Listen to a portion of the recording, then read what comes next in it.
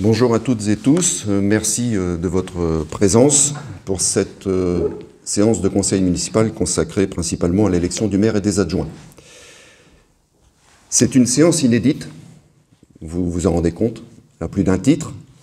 Séance inédite parce que se déroulant en période de crise sanitaire, de pandémie, avec des mesures d'hygiène, des mesures de distanciation que vous avez mises en œuvre en entrant, Séance inédite parce qu'elle a lieu aussi dans un site euh, inhabituel, cette salle Henri Lambert. Je pense pouvoir dire que c'est une première.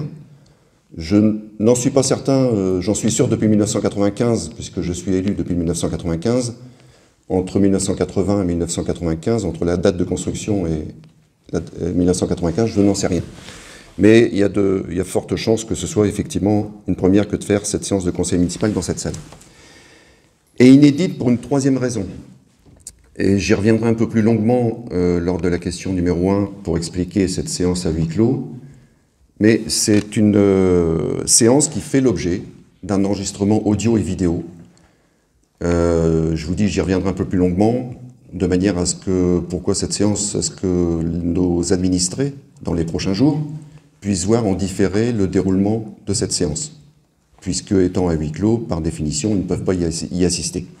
Mais je dis bien, j'y reviendrai euh, un peu plus longuement lors de la délibération numéro 1 pour expliquer les conditions du déroulement de cette séance. Avant de débuter l'ordre du jour, euh, je vous invite à couper vos portables, si ça ne vous dérange pas, à les mettre en silencieux, ni vibreur, d'accord Ou les couper complètement éventuellement, pas de souci.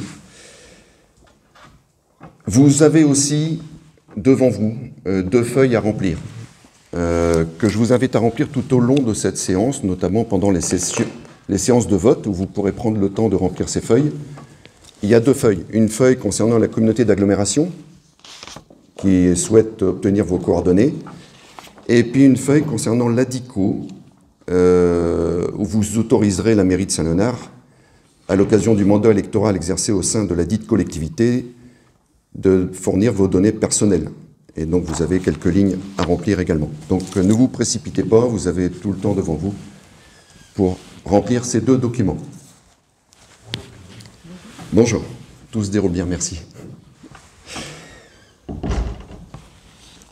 Une dernière information, mais je sais que Serge, euh, qui sera maître d'œuvre pour euh, l'élection du maire, y veillera et il vous expliquera le circuit à utiliser concernant le vote, de manière à perdre le moindre temps possible et ne pas attendre que la personne qui a voté soit retournée à sa table avant que la suivante ne prenne le relais.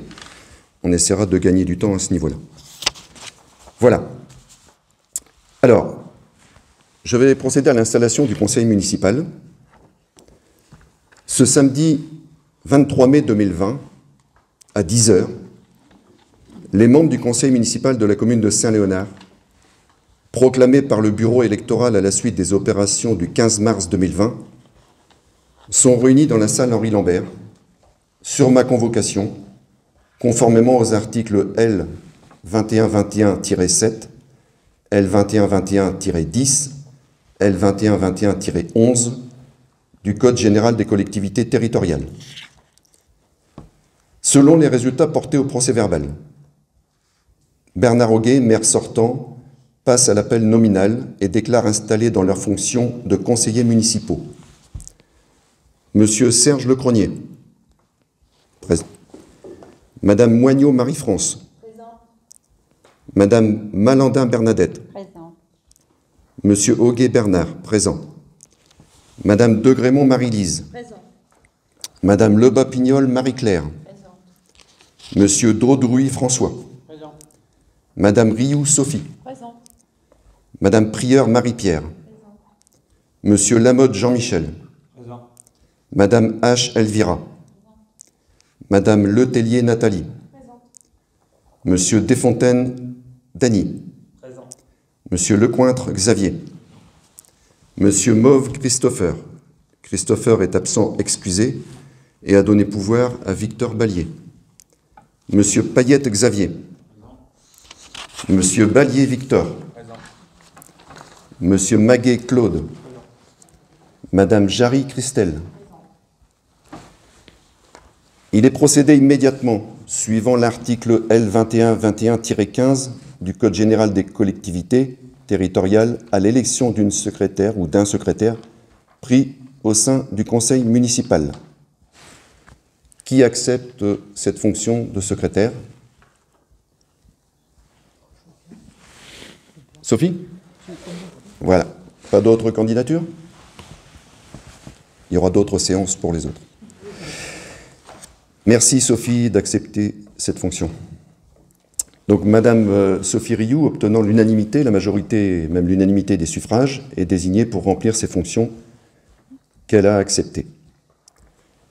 Nous allons à présent passer à la délibération numéro 1 pour tenir la séance à huis clos, compte tenu des circonstances sanitaires qui ne permettent pas d'accueillir du public dans cette salle.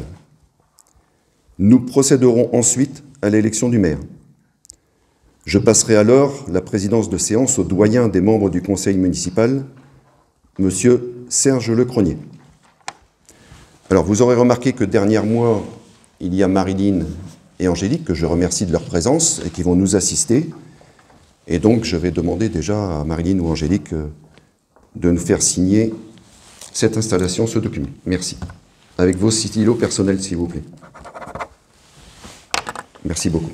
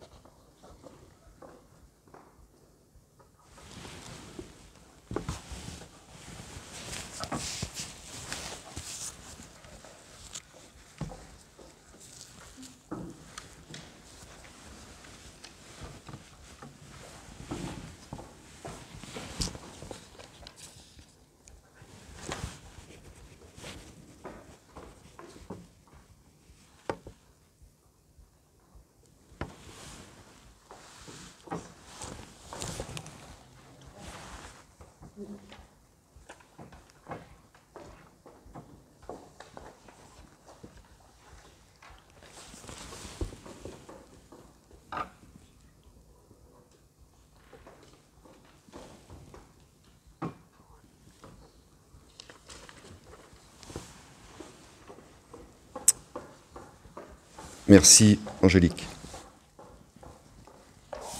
Question numéro 1. Tenue de la séance à huis clos.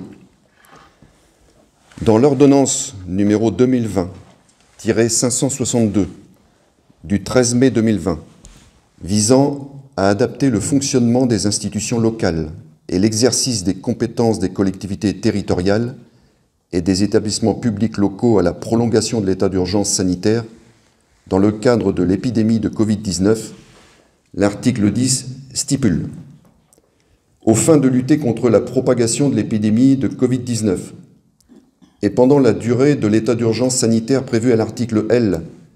3131-12 du Code de la santé publique déclaré dans les conditions de l'article 4 de la loi du 23 mars 2020, le maire, le président de l'organe délibérant d'une collectivité territoriale ou le président d'un établissement public de coopération intercommunale à fiscalité propre peut décider, pour assurer la tenue de la réunion de l'organe délibérant, dans des conditions conformes aux règles sanitaires en vigueur, que celle-ci se déroulera sans que le public ne soit autorisé à y assister, ou en fixant un nombre maximal de personnes autorisées à y assister.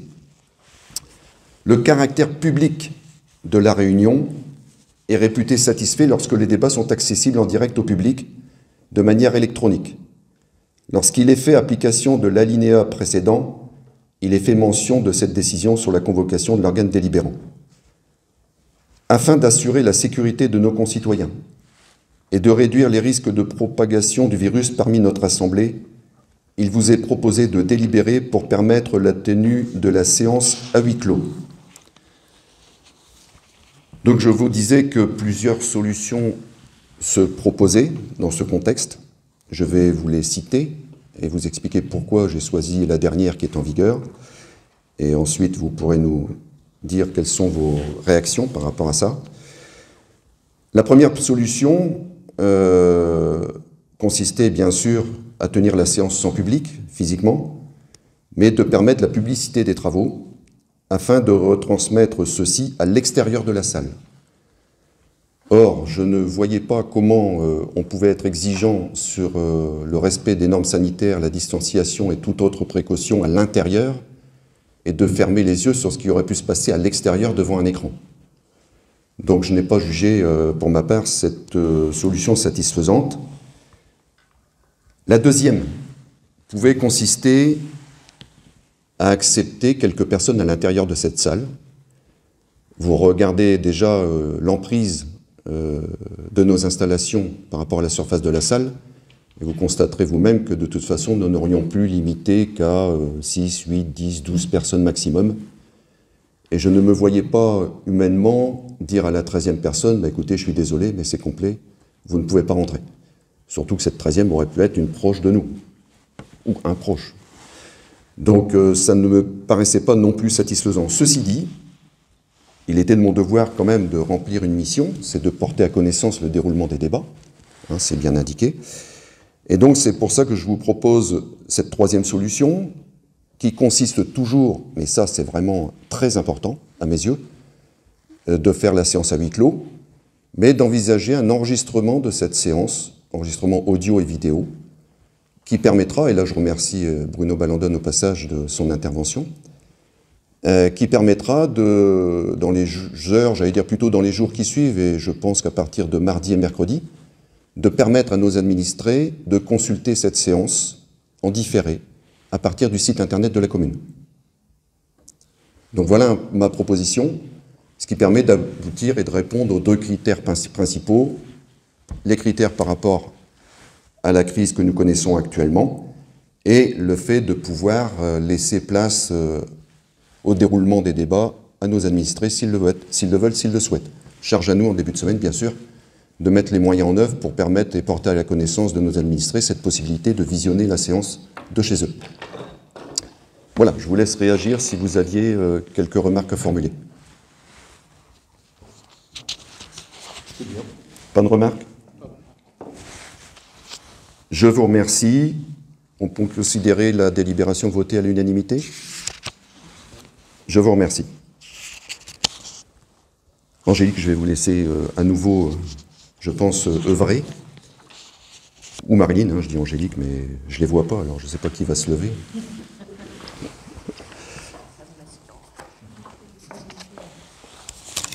Merci. Effectivement, il y avait des précisions à adopter. Merci Angélique.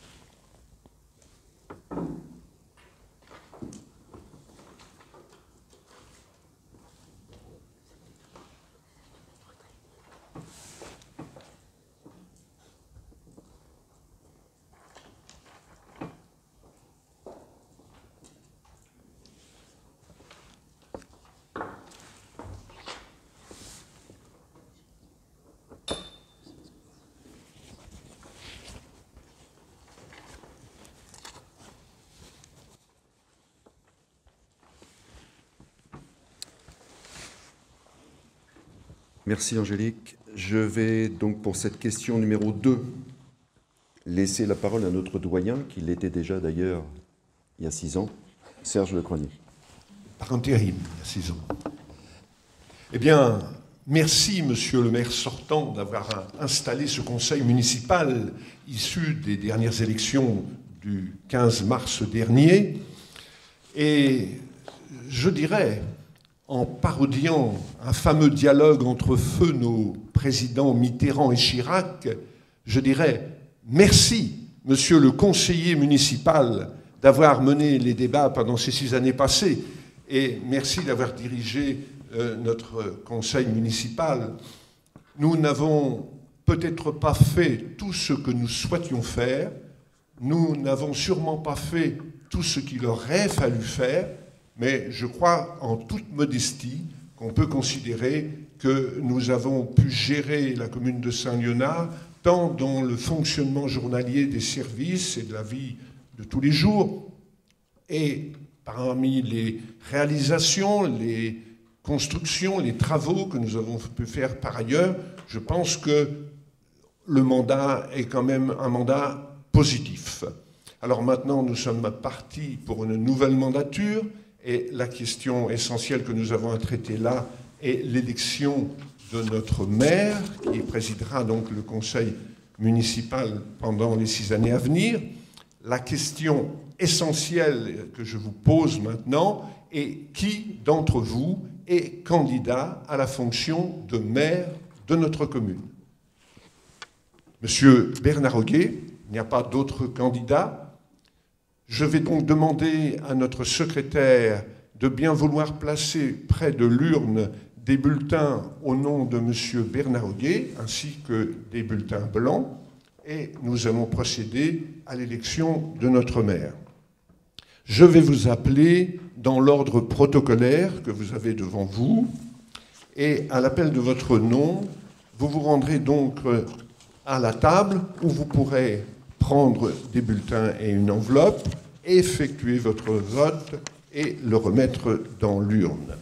Alors, pour euh, faire face à la règle donc, sanitaire de délocalisation et de, distanciation, euh, nous procéderons. La première personne qui va partir, en l'occurrence ce sera moi, commencera son vote. La deuxième personne attendra sur le, à la table. Et puis la troisième qui suivra attendra son tour également. Hein. On va vous montrer cela en détail. Donc pour, pour que, matérialiser euh, le service de ces élections, nous avons besoin de deux assesseurs. Habituellement, cette petite cérémonie euh, d'élection du maire attire toujours de nombreux de nos concitoyens parce que nos concitoyens s'intéressent à la désignation de leur maire, et d'habitude on a un public nombreux, et la règle normale est de demander à un des électeurs de notre commune présent dans le public d'assumer cette fonction d'assesseur. Ici, nous sommes en cercle fermé, donc nous devons nous gérer, nous autogérer, faire le service par nous-mêmes. Donc je vais demander à quelqu'un de l'expérience, en l'occurrence Victor Ballier, de bien vouloir rejoindre l'urne, et puis de l'autre côté, à Madame Christelle Jarry de l'accompagner. L'un d'entre eux tiendra l'urne, l'autre pointera les différents votes sur la liste des conseillers municipaux.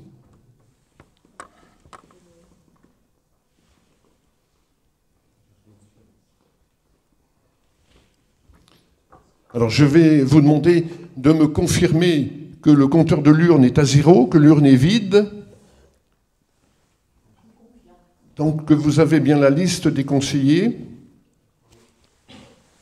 Voilà.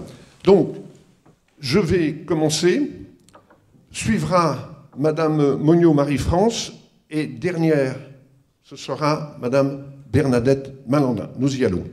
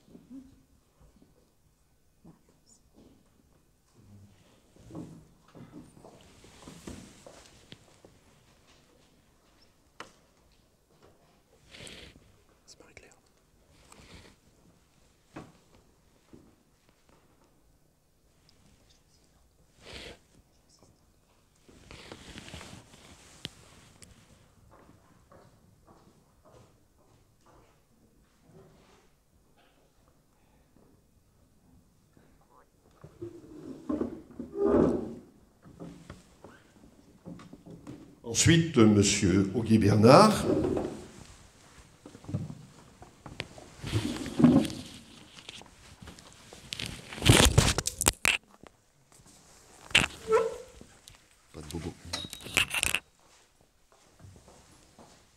Puis, Madame de Grémont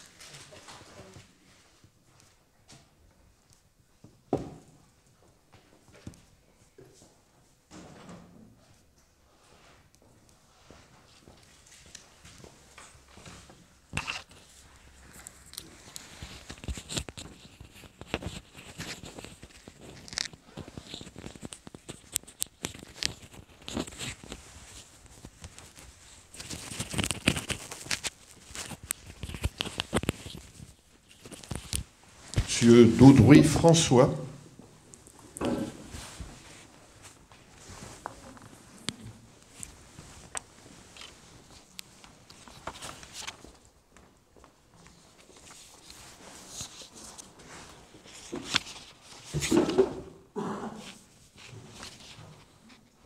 Madame Rioux Sophie.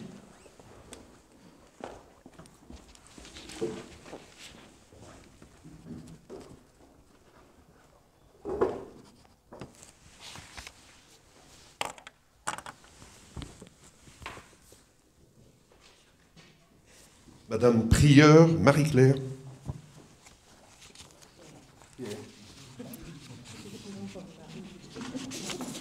Marie-Pierre, je confirme.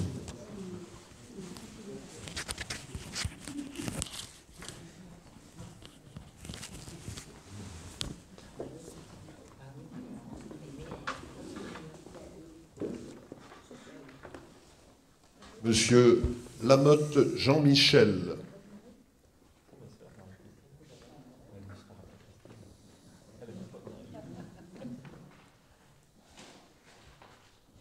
Madame H. Elvira.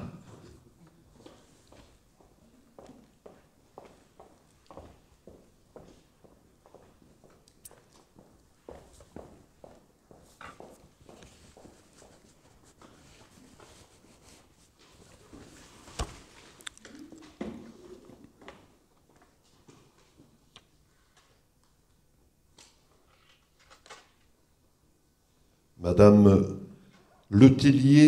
Nathalie.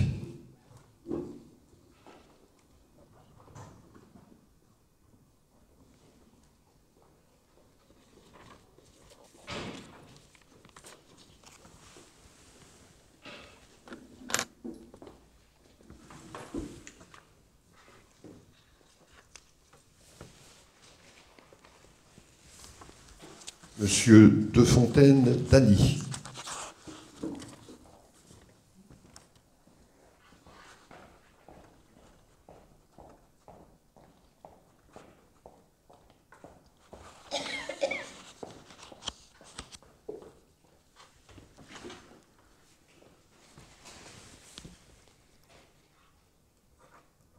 Monsieur Xavier.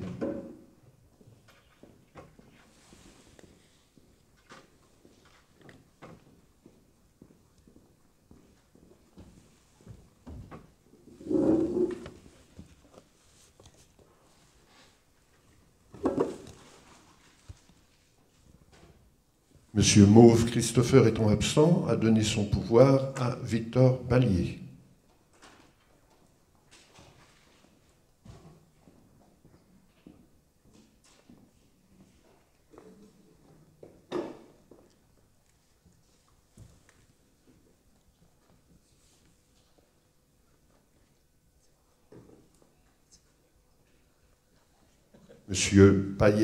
Xavier.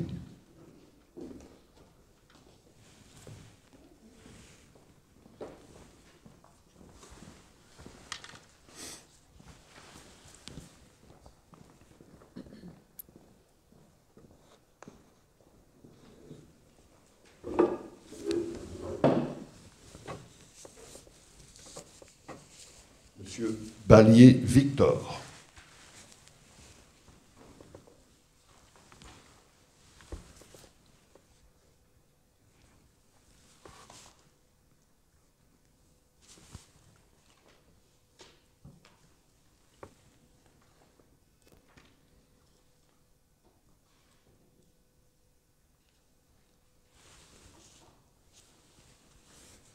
Monsieur Magnier Claude.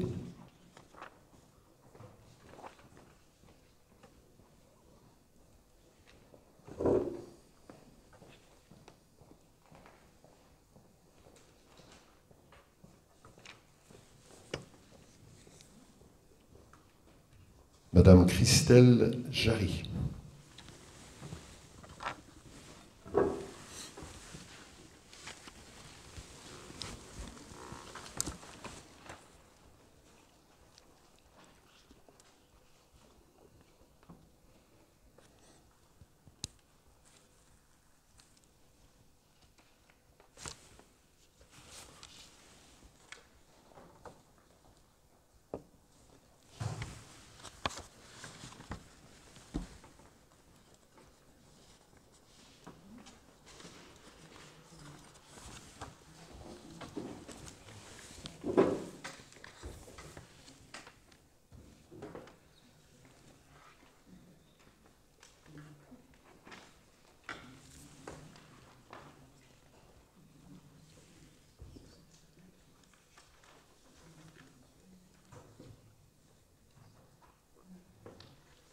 Bien, euh, vous vérifiez que vous avez 19 votes.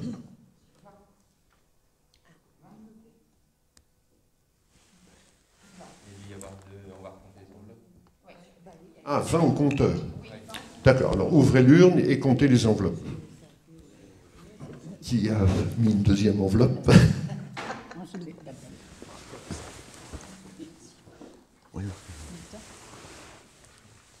Victor, vous pouvez aller la table qui est sur le côté, vous aurez plus de place.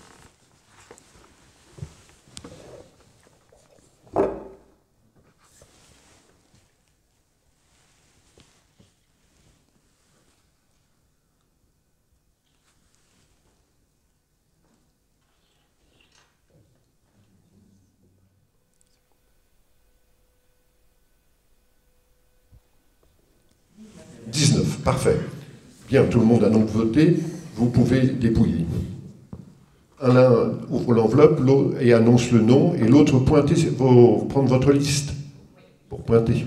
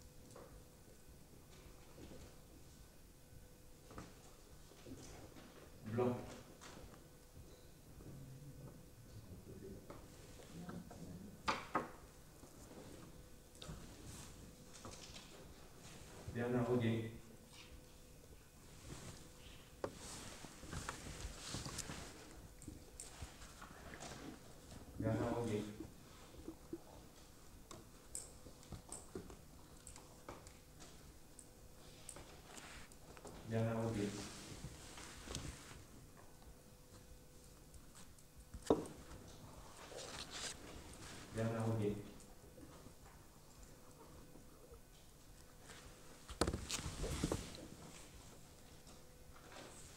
대한 관계.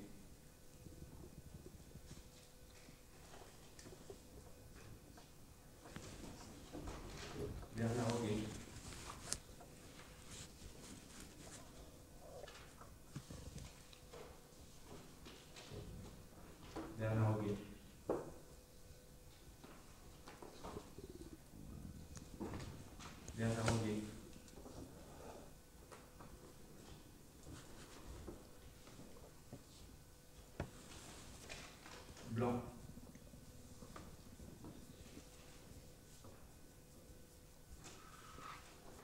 Blanc.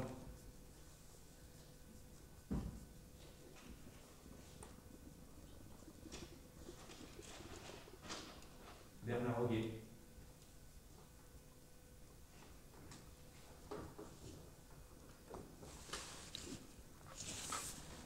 Bernard Roguet.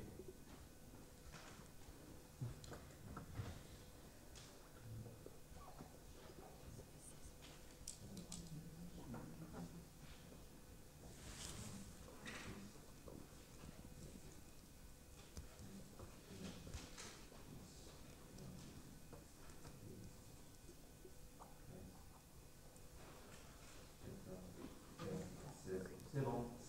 Annoncé alors Vous avez 16 pour Bernard Roguet 16 pour Bernard Royer et 3 blancs. et 3 blancs. Alors, considérant que chaque conseiller municipal, après appel de son nom, a remis son bulletin de vote sur papier blanc fermé dans l'urne, après dépouillement, les résultats sont les suivants.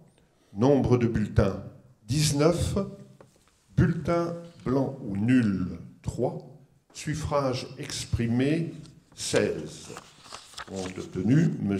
Bernard Ollier 16 voix, donc à la majorité. Est-ce que l'un d'entre vous a une observation particulière sur la tenue de ce scrutin? Pas d'observation particulière. Dans ce cas, euh, je déclare que M. Bernard Auguet, ayant obtenu la majorité absolue, est proclamé maire de notre commune et je le félicite. Merci à Madame et Monsieur l'assesseur, les assesseurs de leur service et nous pouvons donc continuer la séance sous la présidence de Bernard Auguet. Merci Serge pour avoir mené de main de maître euh, cette élection. Merci à toutes et tous de votre confiance renouvelée. Et euh, en écoutant le résultat, euh, bah, je pensais forcément il y a six ans, six années en arrière, et j'ai presque autant de pression, voire plus. Je vais vous dire pourquoi, si vous me permettez ces quelques mots. Alors, il ne faut pas que ce soit l'arbre qui cache la forêt, mais vous savez qu'on a un projet majeur, majeur pour la commune, qui va, euh, je dirais, pendant ces 15-20 prochaines années, guider, servir de fil rouge et qui va vraiment euh, être euh, quelque chose de très porteur, de très structurant pour la commune. Mais je dis qu'il ne faut pas que ce soit l'arbre qui cache la forêt, pas parce que pas- il n'y a pas plus tard qu'il y a 2-3 jours, j'étais à Graval et je me disais, même à Graval, même si on a fait des choses durant le mandat dernier, et vous les connaissez, je ne vais pas les rappeler, il reste encore beaucoup à faire pour la rendre encore plus attrayante, et Dieu sait si cette valleuse le mérite. Mais je dis projet phare, et bien sûr, je reviens sur ce projet de Centrebourg, parce que ce projet que nous n'avions pas en tête, faut être clair, au début du mandat précédent. Nous en avons découvert euh, les premiers prémices, je dirais, les, premières propositions à partir d'une communication du département, c'était fin 2014. Ce projet de Centrebourg nous a beaucoup mobilisés sur le plan administratif, en 2000 de 2014 à 2020, mais cette fois-ci, il va nous mo- mo- mobiliser beaucoup sur le plan opérationnel à partir de cette année. Et c'est une très bonne chose. Alors ce projet, euh, il est porteur de services auprès de nos administrés. Il va proposer une nouvelle offre de logement. Et ça, c'est extrêmement important. Il va proposer des éléments structurants. Il va avoir, on va mettre en place un nouveau groupe scolaire.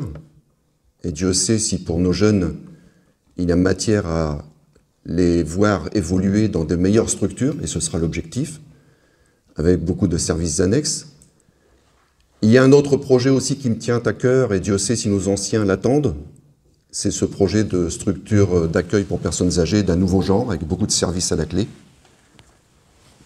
Et c'est aussi un équipement sportif qui viendra compléter l'offre actuelle et qui permettra à nos sportifs d'évoluer dans de meilleures conditions avec une salle qui sera un peu moins surbookée. Donc quand j'énumère tout ça, je me dis, ça va toucher toutes les catégories d'âge dans notre population.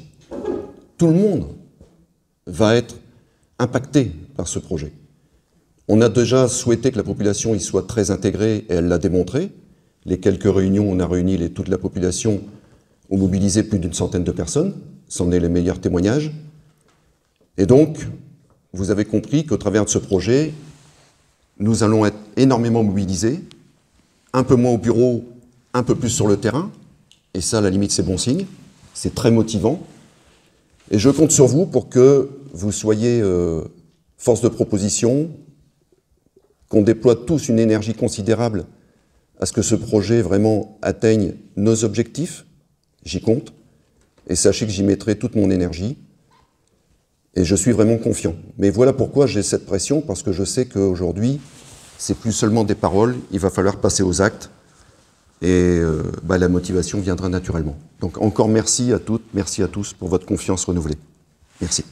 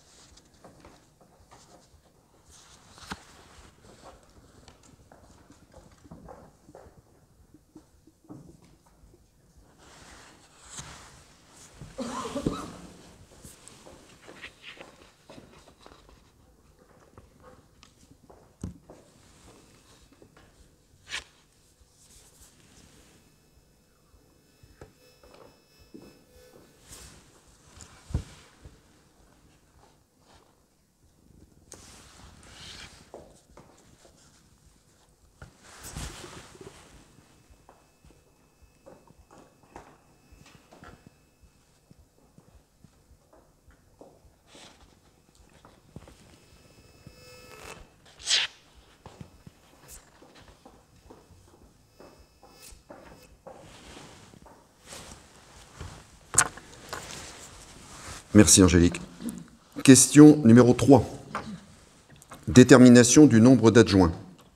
Vu le Code général des collectivités territoriales, notamment son article L2122-2, considérant que le Conseil municipal peut librement déterminer le nombre d'adjoints à siéger, considérant cependant que ce nombre ne peut excéder 30% de l'effectif légal du Conseil municipal Considérant que ce pourcentage donne pour la commune un effectif maximum de 5 adjoints, je vous propose donc d'approuver la création de 5 postes d'adjoints au maire. Et donc je soumets cette délibération à vos votes. Y a-t-il des votes contre? Des abstentions? Je considère que cette délibération est adoptée à l'unanimité. Je vous remercie.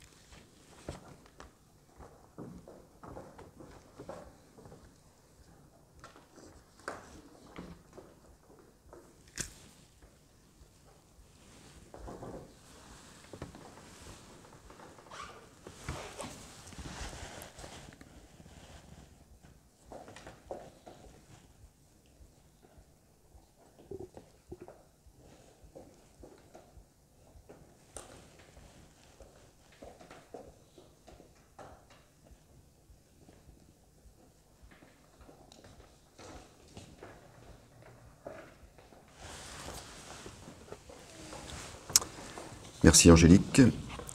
Question numéro 4. Élection des adjoints au maire. Dans les communes de 1000 habitants et plus, les adjoints sont élus au scrutin de liste à la majorité absolue, sans panachage ni vote préférentiel. La liste est composée alternativement d'un candidat de chaque sexe. Si, après deux tours de scrutin, aucune liste n'a obtenu la majorité absolue, il est procédé à un troisième tour de scrutin et l'élection a lieu alors à la majorité relative. En cas d'égalité de suffrage, les candidats de la liste ayant la moyenne d'âge la plus élevée sont élus. Compte tenu que le conseil municipal a décidé de laisser un délai, je dirais de 2 à 3 minutes, c'est largement suffisant pour le dépôt auprès du maire des listes de candidats aux fonctions d'adjoint au maire qui doivent comporter au plus autant de conseillers municipaux, bien entendu, que d'adjoints à désigner. Donc je vous propose la liste suivante. Madame Sophie Rioux, Monsieur François Daudruy, Monsieur Serge Lecronier, Madame Bernadette Malandin, Madame Marie-France Moignot. Y a-t-il d'autres candidatures? Il n'en est pas? Donc je vous propose, avec les mêmes assesseurs, sur la même organisation que l'élection au maire, de procéder au vote. Je vérifie que, effectivement, Angélique met à jour les bulletins. Les assesseurs prenant leur place à nouveau, et je les remercie.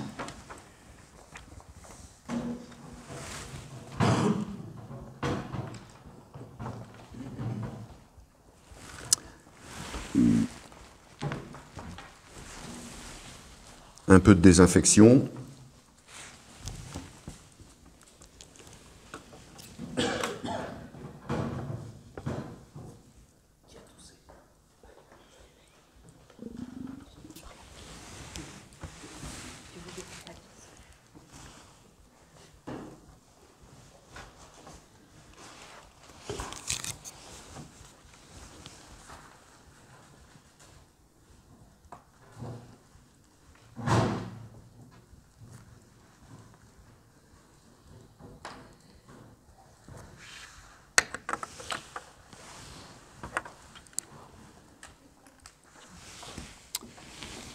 Donc, nous allons commencer, Monsieur Lecronier Serge.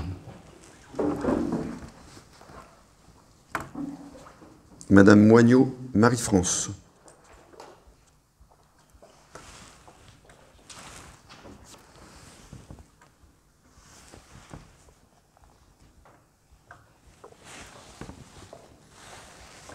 Madame Malandin Bernadette.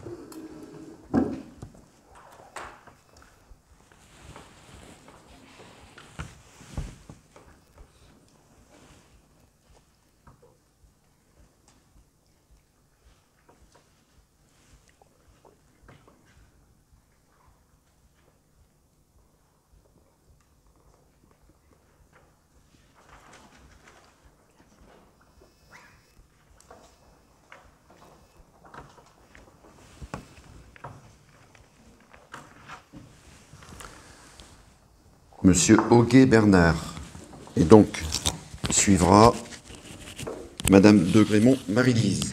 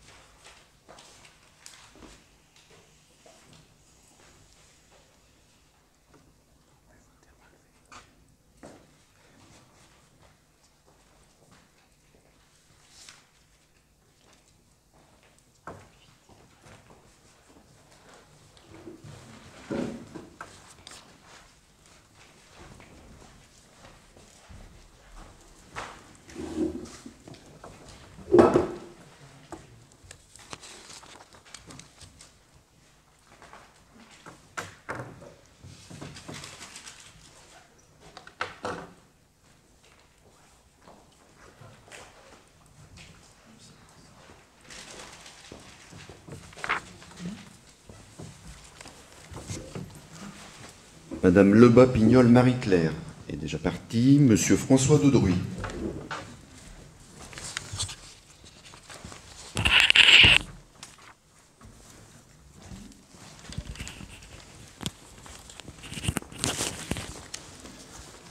Madame Rioux Sophie.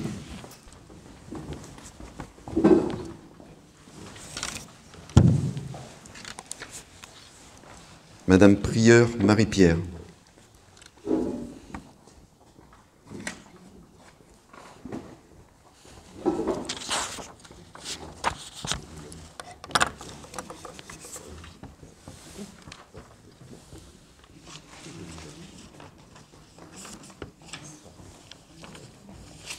Monsieur Lamotte Jean-Michel.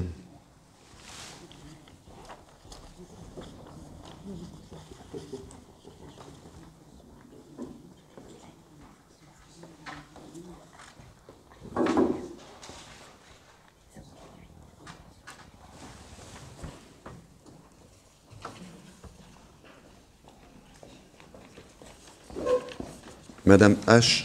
Elvira.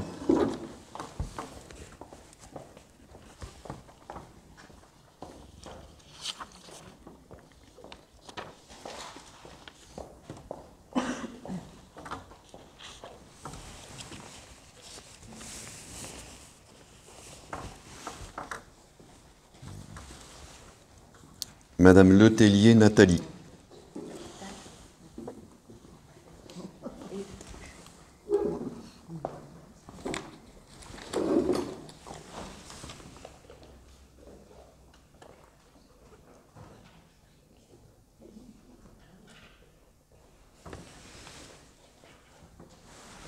Monsieur Defontaine Dany.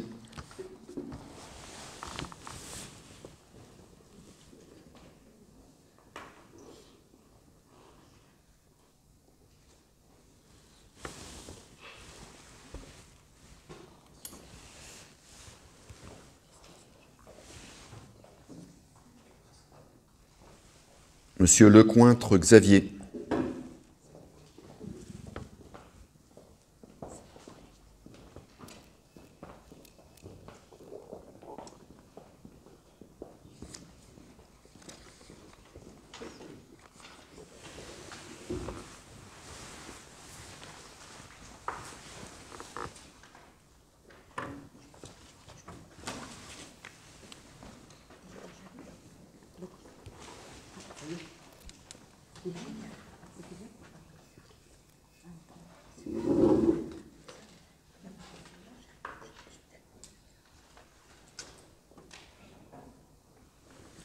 Monsieur Mauve Christopher, ayant donné pouvoir à Monsieur Victor Ballier.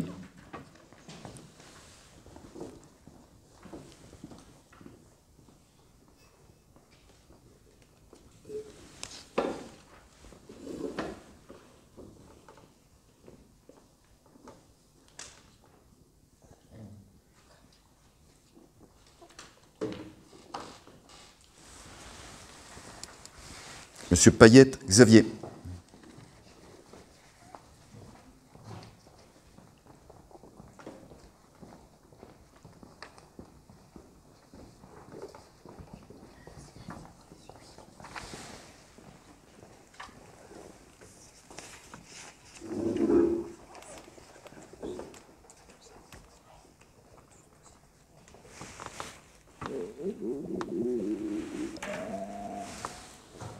Monsieur Victor Ballier.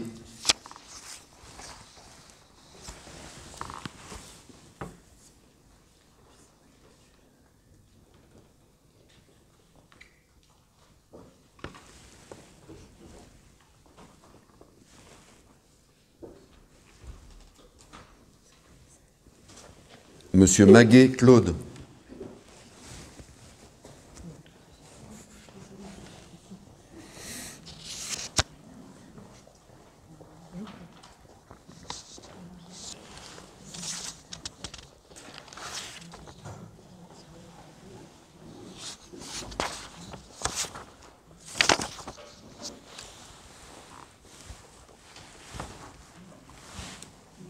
Madame Jarry Christelle.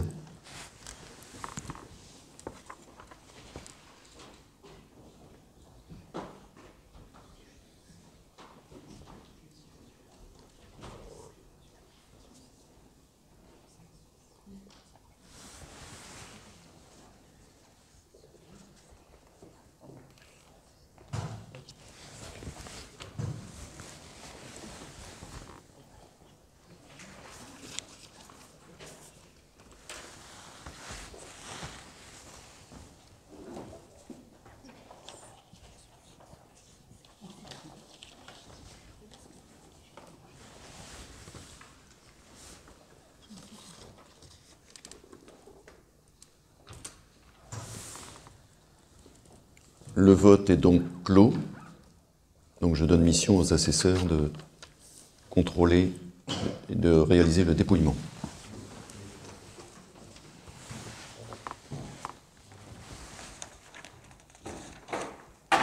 Utilisez la table, euh, n'hésitez n'hésitez pas.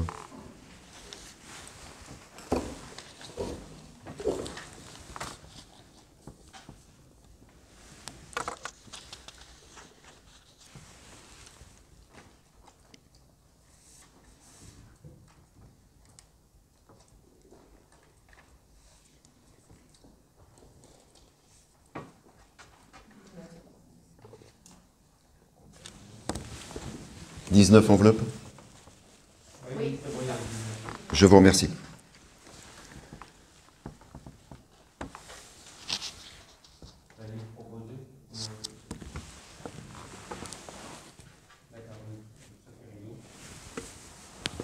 Annoncer la tête de liste, oui. À moins qu'il y ait des noms de barrés, hein, si on vous le préciser.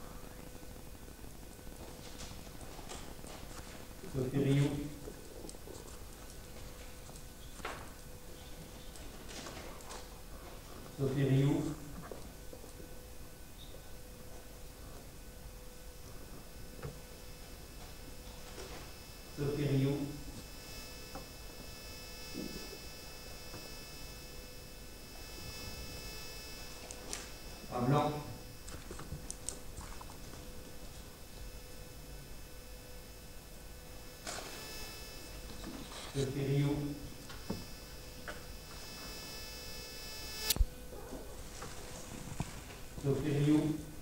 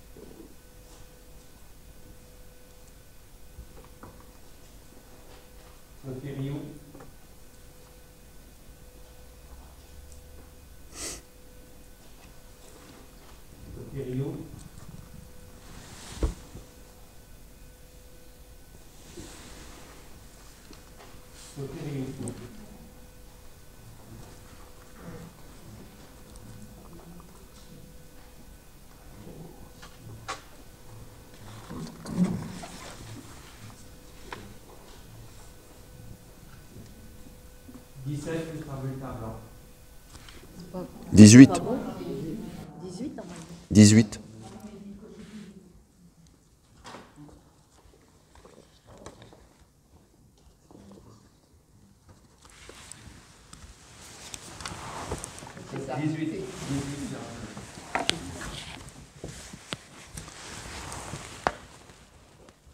Je remercie à nouveau les, assesseurs pour leur intervention. Je vais donc procéder à la proclamation des résultats de l'élection des adjoints. Nombre de conseillers présents à l'appel n'ayant pas pris part au vote, zéro.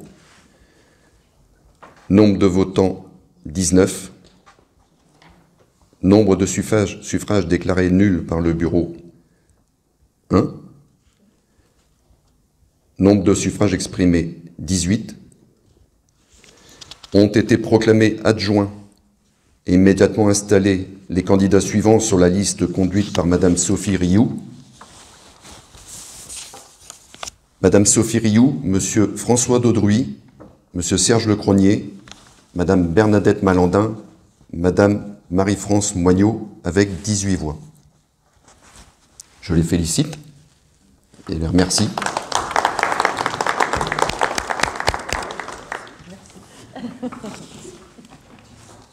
Je- Un petit discours à Sophie. Non, non, non, non, ça va aller.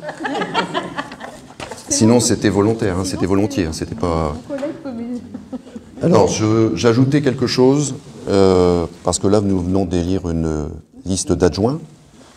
Je pense que la curiosité tout à fait saine que vous avez, c'est de savoir quelle va être la répartition des, des fonctions. Et j'ai aussi un complément à ajouter par rapport à cette élection. Donc,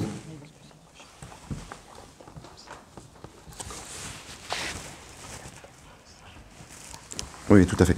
Oui, euh, Angélique me, me rappelle à juste raison que contrairement à l'élection de 2014 où il n'y a pas besoin d'alternance au niveau des sexes entre le maire et le premier adjoint, aujourd'hui il y a alternance. D'accord?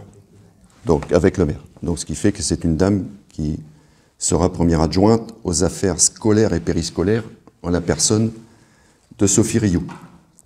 Que vous pouvez applaudir à nouveau. Alternance, je le disais, François Dedrouy sera deuxième adjoint aux travaux et à l'amélioration du cadre de vie. Bravo François.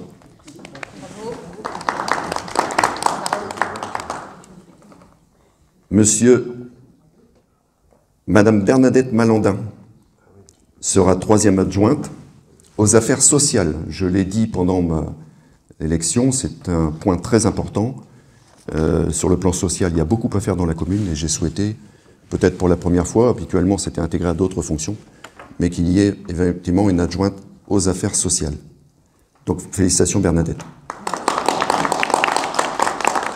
Quatrième adjoint, M. Serge Lecronier, aux finances, dans ses compétences euh, reconnues. Bravo, Serge. Et cinquième euh, adjointe, ma- Madame Marie-France Moignot, aux activités associatives et culturelles. Et Dieu sait si c'est une fonction importante. Félicitations. Alors, de façon complémentaire, je proposerai, euh, je prendrai un arrêté aussi pour nommer un conseiller municipal délégué à l'environnement en la personne de Monsieur Victor Ballier. Bravo.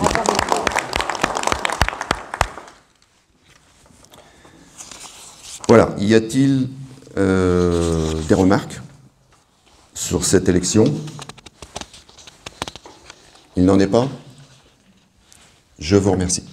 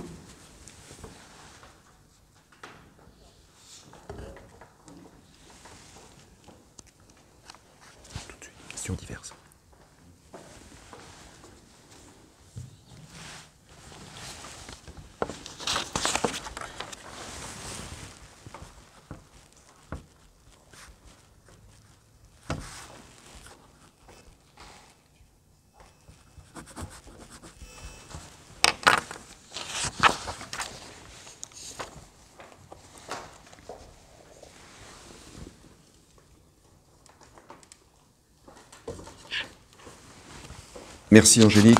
Question numéro 5. Lecture de la charte de l'élu local. La loi 2015-366 du 31 mars 2015 a prévu que le nouveau maire doit donner lecture de la charte de l'élu local, prévue à l'article L 1111-1-1 du Code général des collectivités territoriales.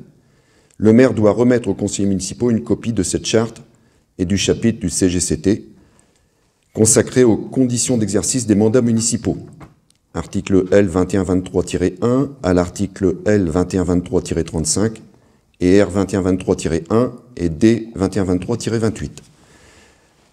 Que contient cette charte? Sept points. Je les énumère. Le premier point, c'est l'élu local exerce ses fonctions avec impartialité, diligence, dignité, probité et intégrité. Deuxième point, dans l'exercice de son mandat, l'élu local poursuit le seul intérêt général, à l'exclusion de tout intérêt qui lui soit personnel, directement ou indirectement, ou de tout autre intérêt particulier. Troisième point, l'élu local veille à prévenir ou à faire cesser immédiatement tout conflit d'intérêts. Lorsque ses intérêts personnels sont en cause, dans les affaires soumises à l'organe délibérant, dont il est membre, l'élu local s'engage à les faire connaître avant le débat et le vote. Quatrième point. L'élu local s'engage à ne pas utiliser les ressources et les moyens mis à sa disposition pour l'exercice de son mandat ou de ses fonctions à d'autres fins. Cinquièmement, dans l'exercice de ses fonctions, l'élu local s'abstient de prendre des mesures lui accordant un avantage personnel ou professionnel futur après la cessation de son mandat et de ses fonctions. Sixièmement, l'élu local participe avec assiduité aux réunions de l'organe délibérant et des instances au sein desquelles il a été désigné. Ce sont des points d'ailleurs que l'on reverra dans le futur règlement du conseil municipal sur lequel je reviendrai un peu plus tard. Septièmement, issu du suffrage universel, l'élu local est et reste responsable de ses actes pour la durée de son mandat devant l'ensemble des citoyens de la collectivité territoriale, à qui il rend compte des actes et décisions pris dans le cadre de ses fonctions. Voilà les sept points énumérés avec des notions extrêmement importantes et fortes. Avez-vous des remarques?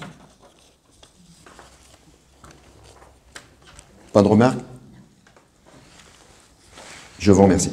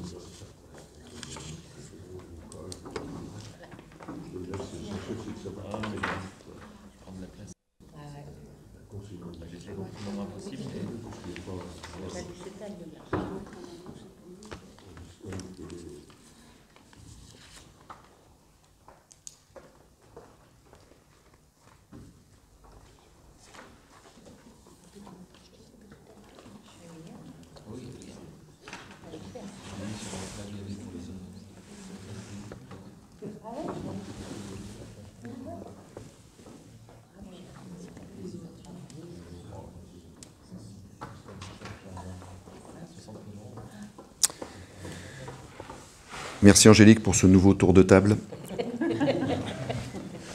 Alors, euh, avant de laisser la parole à M. Claude Maguet dans les questions diverses, j'aborde le septième point de l'ordre du jour, qui est la fixation des dates et ordre du jour des deux prochaines séances.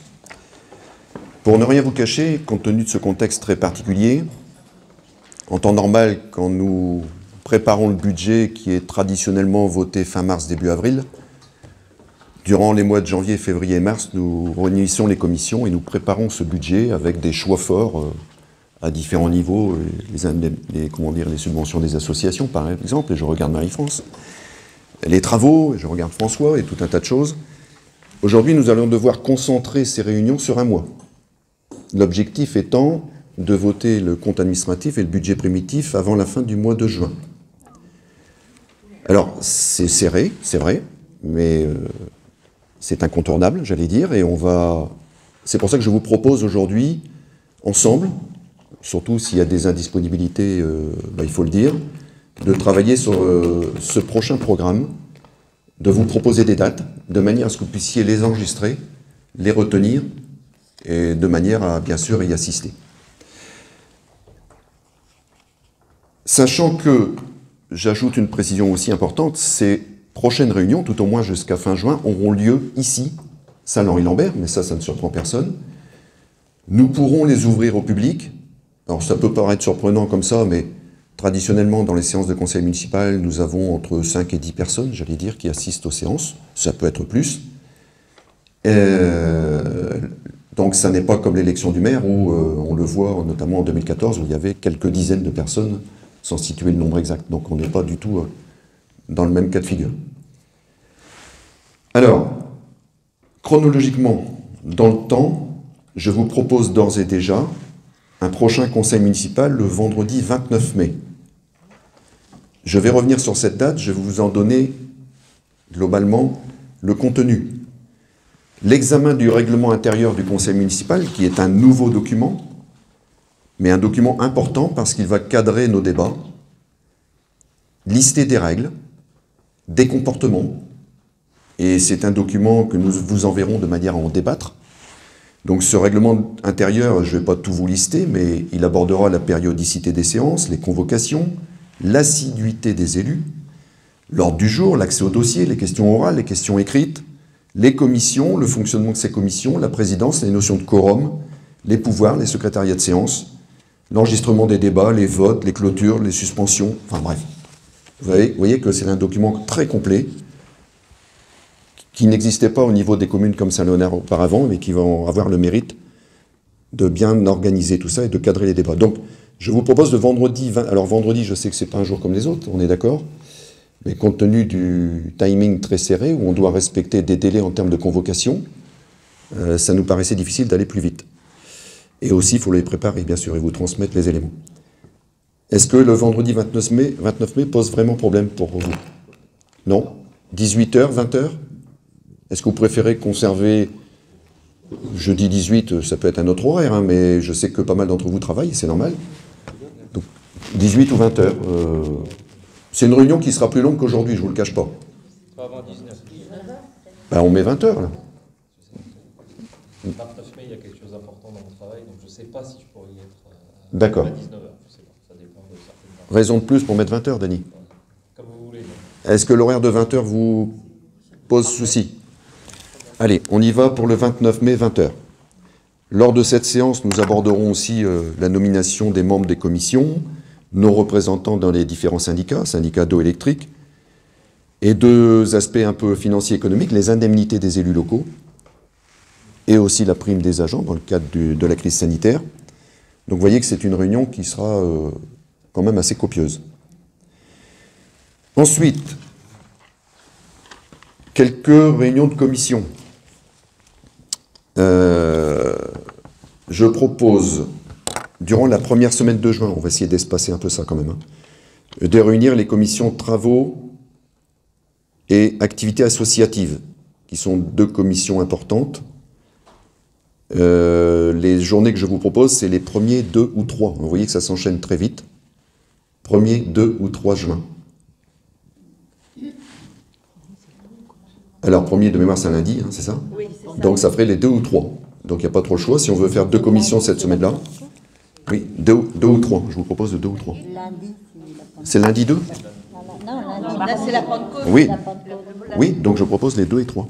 D'accord. Non, non, c'est pas grave. Est-ce qu'on peut prévoir la commission travaux le, le 2, par exemple? Bon, je sens que...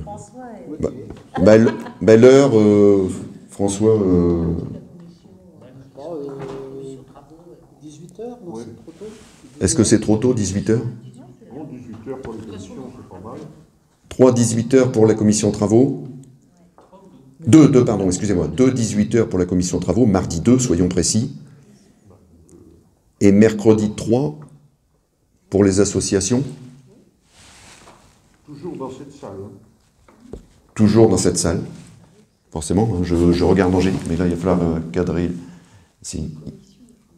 Ah, il y aura moins de monde, c'est vrai.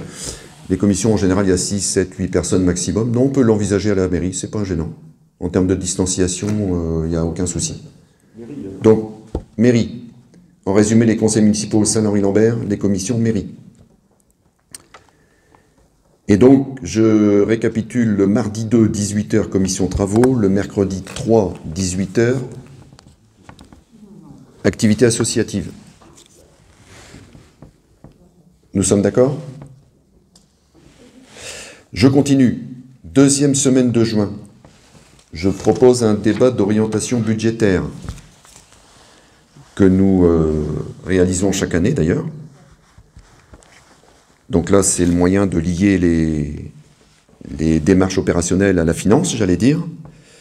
Donc si on reprend le calendrier, euh, deuxième semaine de juin, ça faisait le 8, 9 ou 10 juin, je vérifie. C'est ça. Lundi 8, mardi 9 ou mercredi 10, pour le, ce qu'on appelle le DOB, débat d'orientation budgétaire. Si je propose le mardi, allez, euh, est-ce que ça pose souci? Mais là, c'est ouvert à tout le conseil. C'est ouvert à tout le conseil municipal, donc ça veut dire qu'on la fera ici. Donc c'est le DOB sera salle Henri Lambert. Est-ce que le 9, mardi, euh, Serge, qu'est-ce que t'en penses? Faut le faire à 20h. Si on- tout le monde est là, c'est quand même important. hein. Est-ce que ça pose souci, Angélique Bon, on va faire 20 heures, hein, parce que si on veut réunir tout le monde, il faut donner plus de chances, euh, le maximum de chances pour qu'il y ait le- plus de participants. 20h, mardi 9. 20 heures, mardi 9, salle Henri Lambert. C'est acté? C'est bon? Merci. Avant d'en arriver au dernier conseil municipal de fin juin, je propose aussi de réunir la commission euh, du CCAS dans la troisième semaine, c'est-à-dire, euh, même si on ne connaît pas la composition de ses membres, mais entre le 15 et le 17. Ben, c'est pareil, sur le même schéma, je proposerai le mardi 16 éventuellement. Angélique, c'est bon? J'ai pas l'habitude qu'elle me parle dans le dos comme ça, ça fait bizarre. Mardi 16, commission du CCAS. On la fera salle Henri Lambert, je pense qu'on est en mesure de respecter la distanciation. Et on la fera. euh, allez, 18h. Si, si vraiment ça pose souci d'ici là, on pourra toujours moduler l'horaire, je sais pas, je. C'est bon? Hein, Je dis bien, peut- quand c'est éloigné de. En termes de temps, on peut encore modifier les horaires, il n'y a pas de souci. Comme ça, ça permet de caler vos plannings. Et enfin, le conseil municipal euh, troisième, parce que c'est le premier aujourd'hui, euh, pourrait avoir lieu quatrième semaine de juin, les 22, lundi 22, mardi 23 ou mercredi 24 juin. Est-ce que ça pose souci pour certains d'entre vous, ces jours-là? Si on met le mercredi 24, je regarde Angélique, c'est bon? Mercredi 24 donc Saint-Henri-Lambert, à 20h.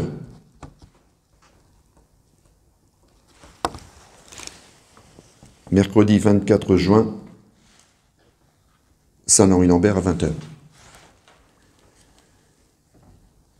Est-ce que tout ça est. Est-ce que ça passe le 23 juin? Est-ce que le 23 pose problème à d'autres personnes? Sinon, on l'anticipe d'une journée. Angélique, c'est bon le 23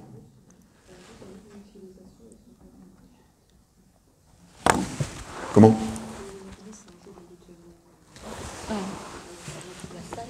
D'accord. Alors, on y va pour le 23 et non le 24. 23, 20 heures. Séance de conseil municipal, salle Henri Lambert. Réunion extrêmement importante qui permet de présenter le compte administratif et le budget primitif qui va nous engager pour l'exercice à venir en. Donc voilà pour euh, ce programme chargé, je le reconnais, mais euh, malheureusement incontournable. Avant de passer aux questions diverses, est-ce que sur ce programme, vous avez des questions, des remarques ou des observations? Non, c'est bon? On peut considérer que le point 7 est, est vu, fixation des dates et ordre du jour des deux prochaines séances. On a même intégré les commissions, dont les associations, les travaux, le CCRS. C'est très bien. Questions diverses. Je vais, euh, alors je vais passer le micro, peut-être Serge, si tu peux passer le micro à, Claude, éventuellement, parce qu'on entendra mieux que. Donc je vais laisser la parole à, à Claude Maguet. Oui, bonjour à tous. Je félicite Monsieur le maire pour son élection et messieurs et mesdames les adjoints. Nous sommes élus à deux depuis le 15 mars et je souhaiterais que nous ne faisions pas partie de l'opposition ou de la minorité. Nous souhaitons faire partie d'une équipe qu'on soit 19 au complet et non 17 et 2. Parce que je pense que ça pourrait couler de source. J'aurais souhaité aussi qu'il y ait un délégué aux travaux. Bon, je vois qu'il n'est pas mis à l'ordre du jour. J'aurais souhaité m'impliquer euh, aux travaux, parce que j'ai travaillé pendant 20 ans en tant que superviseur, sécurité, superviseur travaux, donc je connais un petit peu le- les, filières. Et j'aurais aidé euh, François, puisque je suis c'est François qui va être aux travaux, j'aurais souhaité l'épauler euh, ce niveau-là. Parce que, comme euh, Bernard, tu l'as dit, il va y avoir beaucoup de travaux euh, qui vont être effectués et des contrôles, voir si tout est bien fait normalement et dans les chartes ou dans les fonctions à faire. Donc voilà, moi, ce que je souhaitais. Donc je souhaite surtout, c'est qu'on ne soit pas mis en, tant, en minorité. Hein, Je souhaite qu'on travaille ensemble, Christelle et moi. Je, Voilà ce que j'avais à dire. Nous, on souhaite vous apporter nos. On veut vraiment participer et pas être sur la touche ou ne pas euh, être exclu de certaines euh, discussions. Vous pouvez compter Merci. sur nous et on, on ne fera pas comme ça s'est passé les six années d'avant. Merci à tous les deux. Merci Claude. Euh, bon, sans trahir de secret, c'est un sujet dont nous avons parlé ensemble il y a assez peu de temps.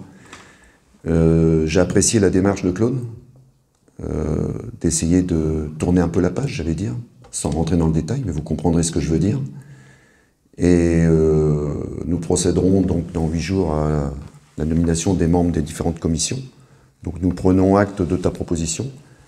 Et personnellement, c'est avec satisfaction que j'accueille cette démarche, que j'essaierai de rendre aussi très constructive, pour plutôt mettre en place le travail d'une équipe complète, d'un conseil municipal, et sans chercher à distinguer euh, des équipes ou des clans ou des. éviter tout ce qui est cloisonnement. Merci Claude. Y a-t-il d'autres sujets dans ce chapitre questions diverses? Avez-vous des questions? Alors n'oubliez pas qu'il y a les procès-verbaux à signer. Hein, il y a des documents, je me retourne vers Angélique, peut-être, elle peut peut-être nous apporter quelques précisions. Angélique. Merci, monsieur le maire. Euh, donc, monsieur le maire, le conseiller municipal le plus âgé, le secrétaire et les assesseurs.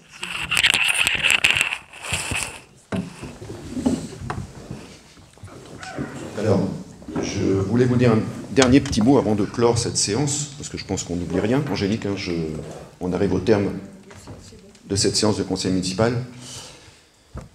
Je voulais vous remercier tous de votre présence. Christopher est absent, je le regrette, mais je sais que c'est pas de la mauvaise volonté. Il a essayé de faire le maximum pour être présent et il est très très pris. Je pense à lui, euh, même s'il n'est pas parmi nous. Merci à vous. Je sais que je peux compter sur vous. Je sais que même depuis de nombreuses semaines, vous avez fait preuve d'un certain dynamisme. C'est important, on est au service de nos concitoyens. Donc il va falloir maintenant le démontrer. Vous pouvez compter sur moi, je ferai le maximum pour vous accompagner. Et surtout, essayons de travailler en toute transparence. S'il devait y avoir des, choses à éclaircir entre nous, il faut en discuter. C'est très important. C'est comme ça qu'on forme une véritable équipe. Je remercie aussi les agents, et notamment Marilyn et puis Angélique qui, qui les représentent aujourd'hui, qui sont là aussi pour nous préparer le terrain, j'allais dire, tous les dossiers, etc. Donc on a besoin d'eux. Merci à tous et je remercie Bruno pour terminer, parce que sans lui, bah, cette séance n'aurait pas pu être, euh, je dirais, mise à disposition de nos administrés dans les prochains jours. Et je sais, le connaissant, qu'il a, accompli un, travail remarquable et j'ai hâte de voir euh, ce document euh, et qu'on puisse le partager ensemble. Voilà. Merci encore. Je vous souhaite. euh, Les documents, on va les récupérer, il n'y a pas de souci. Est-ce qu'il reste une dernière chose? Non On a tout vu Pas de dernière remarque? Je vous propose simplement, avant de partir, et de manière à respecter toujours nos règles de distanciation, de prendre une petite coupe ensemble. Très simplement, en restant à nos places simplement pour marquer le coup et honorer cette élection. Je vous remercie toutes et tous.